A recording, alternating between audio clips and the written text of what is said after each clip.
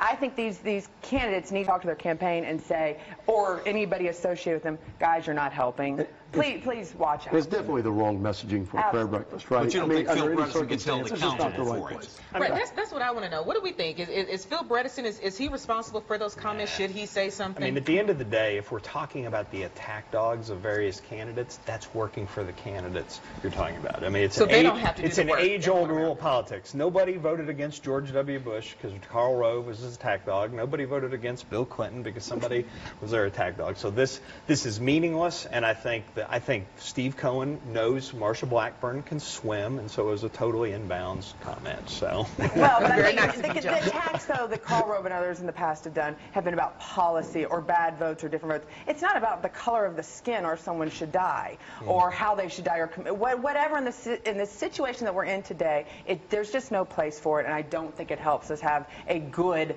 honest conversation. A civil conversation. Well, for the record, we should let people know Harahan's Bridge is the bridge that runs between Memphis and West Memphis, Arkansas. It's that uh, that big bridge you see as you look stand in Memphis and Could look be a good publicity So, stunt for the city of Memphis. River you never Bridge. know. I mean, it could Well- bring some economic activity.